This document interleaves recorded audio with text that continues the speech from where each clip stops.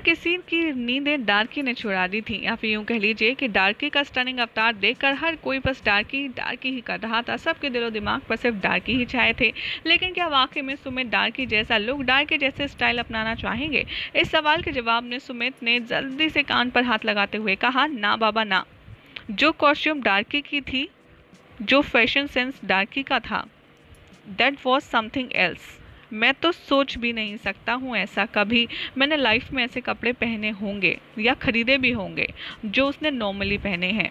या फिर जो उसकी हेयर स्टाइल थी it was very cool very different but carry करना बहुत ज़्यादा डिफ़िकल्ट था बिकॉज़ टाइम टाइम पर कलर करना होता था ब्लीच करना होता था साइड बाय साइड मैं कहीं भी जाता था तो मुझे अपने बाल छुपा करके रखने होते थे। कैप ऑल टाइम पहनना होता था, क्योंकि किसी को भी कोई इमेज ना दिख जाए, कोई चल ज़रा सी भी झलक ना दिख जाए कि मेरा क्या लुक होने वाला है। लेकिन बाय गॉड ग्रेस मैंने सोचा था कि कुछ महीने ही मैं इस लुक को छुपाऊँगा, लेकिन नौ महीने मैंने कैप के साथ इतने अच्छे से निकाले कि किसी को मेरे अपकमिंग लुक के बारे में कुछ भी पता नहीं चला।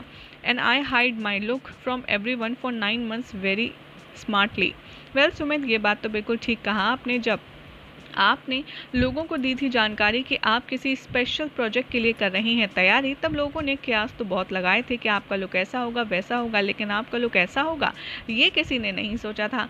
लेकिन हमें तो डार्की का लुक उनका ड्रेसिंग सेंस उनकी हेयर स्टाइल काफ़ी ज़्यादा पसंद आई। आपका क्या ख्याल है गाइस कमेंट ज़रूर करें। साथ ही वीडियो को लाइक शेयर करके चैनल को सब्सक्राइब करना ना भूलें।